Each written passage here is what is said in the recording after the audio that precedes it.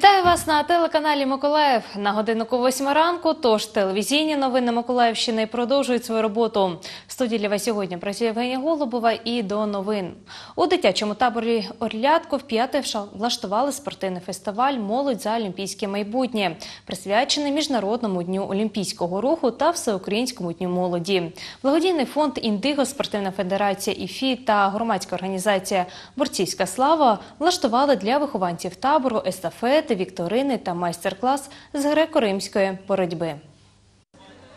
У таборі оздоровлюються 400 дітей. Їх розділили на групи та розвели по різним демонстраційним майданчикам. Одну з вакацій розташували на березі моря. Учасників поділили на три команди. Вони мають пробігти естафету.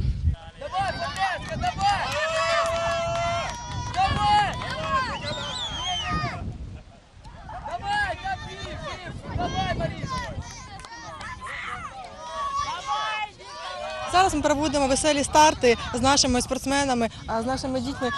Це перший захід е, в рамках фестивалю.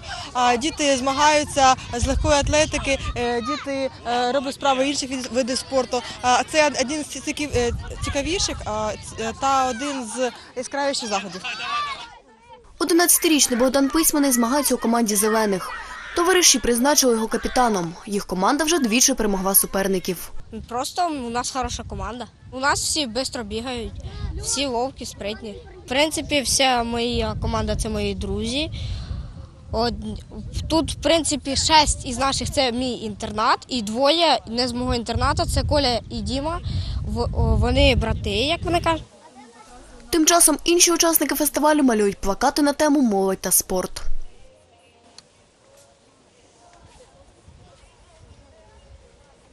Ні в коєму разі не треба вживати алкоголь і інші погані речі.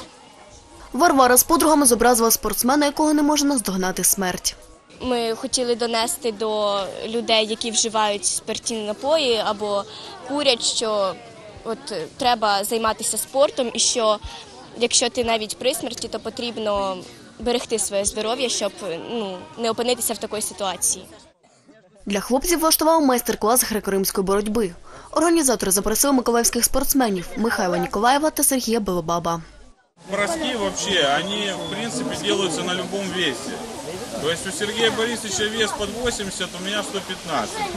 И он этот бросок может Ребятки, сделать, отойдите вам с мата. будет произведен на моем действии. То, что он вам говорит. Надо выводить человека из равновесия. Вот сейчас мы вам покажем, как это. Даже вас большой Вот у меня рука, видите, вот я его могу стоять толкать просто, я ему там... Главное человека сде- Вот я сдержать. создаю давление. А я его видите? чуть-чуть сдержал, И а вот она создается просто опора. отпускаю сюда. Сюда. Наша місія, вона взагалі в цілому одна. Це олімпійський рух, це здоровий спосіб життя серед молоді та діточок наших. Е, Ми представляємо наш від спорту греко-римську боротьбу і приїхали сюди, щоб показати, що це таке, щоб е, дітки були е, роз- розви- розвинуті в цьому напрямку, щоб вони розуміли, що це за від спорту, чому він є олімпійським, які в нас є історія в країні в цьому спорті. Спробував свої сили на борцівському килимі 16-річний Микола Кузьменко.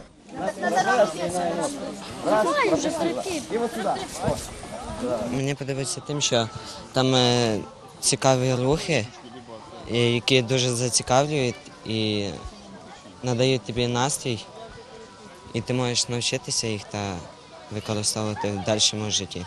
Якщо запам'ятаєш, то це можна використовувати, ну, щоб захистити свого е, товариша або своїх близьких. Після усіх випробувань презентація плакатів та нагородження. У переможців залишились медалі, грамоти та настільні ігри.